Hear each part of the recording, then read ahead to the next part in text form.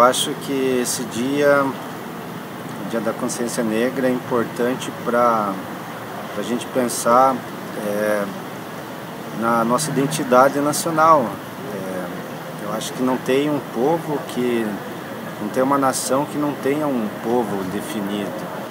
Então eu acho que se a gente não, não se encontrar na nossa diversidade e se assumir, eu acho que a gente está cometendo um erro básico assim, na nossa base. E eu acho então nesse, que racismo seria um crime contra que fere a todos. Assim, e fere a ideia de um país, um Brasil do futuro. Assim, um país que a gente pode ser e merece ser. Assim.